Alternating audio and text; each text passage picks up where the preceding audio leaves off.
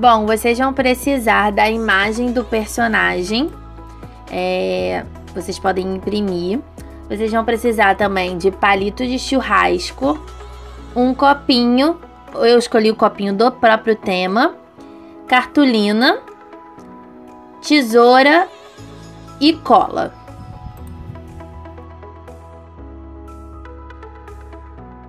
Na cartolina eu desenhei uma bola de encher tá? Se você tiver alguma dificuldade para desenho, eu vou deixar o molde de uma bola é, de encher bexiga que falam em outros lugares é, no blog. Então o link vai estar tá aqui abaixo no box de informações. Aí você passa para cartolina e depois é só cortar.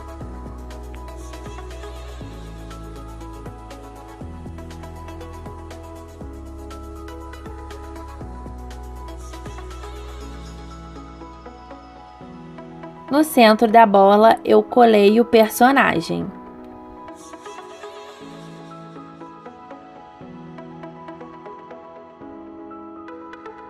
No verso da bola, nós vamos colar um palito de churrasco. Vamos pegar o copinho e vamos colocar dentro dele sal grosso. Eu coloquei sal grosso, mas se vocês preferirem, vocês podem colocar areia decorativa. Depois que o copinho estiver pronto, nós vamos colocar o palito de churrasco dentro dele. Com um papel de seda rosa, vou dobrar várias e várias vezes até formar uma tira e depois eu vou cortar tiras bem fininhas.